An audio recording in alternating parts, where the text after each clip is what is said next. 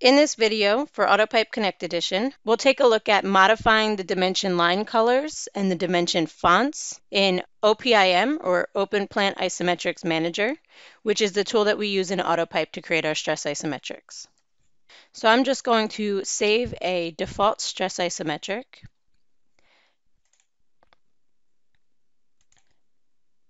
I'll allow Open Plant Isometrics Manager utility to run through and create that isometric for me which will automatically open in OPIM. When I see the DGN file is generated, I can accept that message and I'll see it will automatically open up my isometric. So here we are in OPIM with our stress isometric created, and we can see that we have dimension lines with labels, and we can see that those dimension lines are, at this point, red. So if we wanted to modify that line color, we can do so by using our dimension styles.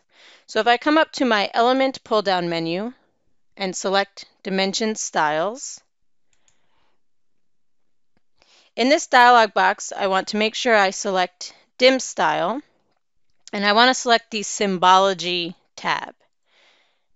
In the symbology tab, you can see that I can change the color, style, and weight of my dimension lines, my text, my extension lines, and my terminators. So specifically, if I wanted to change the color of my dimension lines, and maybe I wanted to see them in green, for instance, I could do so. I can then save the changes just by pressing the Save button up at the top. I'll say yes.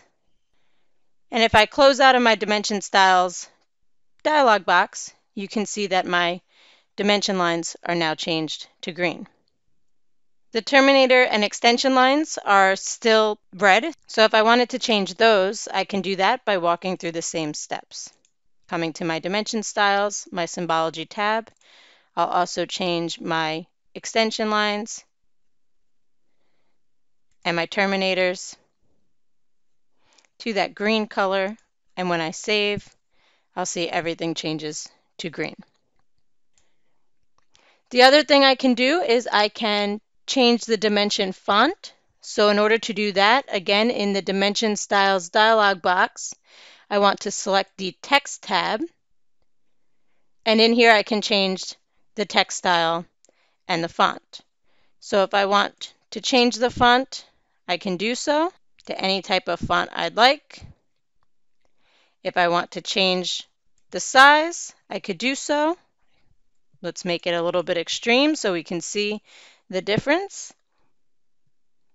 And you can also change the formatting of the font itself too.